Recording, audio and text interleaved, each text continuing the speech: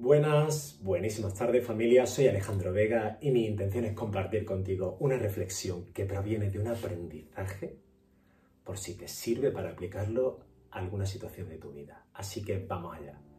Hay muchísimas personas que no logran construir una relación de pareja y esto se debe al gran miedo que le tienen al compromiso.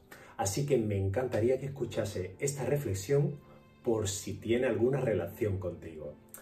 ¿Conoces el caso de la zanahoria que se le coloca a los caballos para que caminen?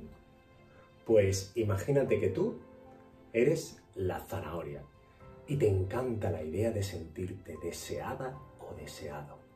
Así que para que puedas conservar esa sensación, tienes que vivir continuamente en una persecución o en una constante fuga.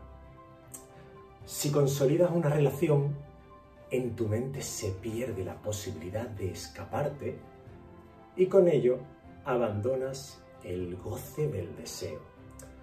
Es por este motivo por el que eres tú quien no quieres tener una relación de pareja, porque significaría renunciar a la libertad y al hecho de ser la zanahoria fugaz. Espero que te haya servido y te sea de utilidad.